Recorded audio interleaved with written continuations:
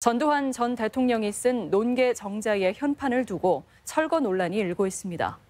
장수 지역 일부 주민들은 장계면 장계면에 세워진 논계 정자의 현판을 전두환 전 대통령이 쓴 것은 치욕적이라며 표지석과 함께 철거 운동에 나서겠다고 밝혔습니다. 단아정이라는 현판은 전두환 전 대통령이 퇴임 후에 후인 지난 1999년 썼으며 의암 준혼계 정신선양회의는 의견 수렴을 거쳐 철거 여부를 결정하기로 했습니다.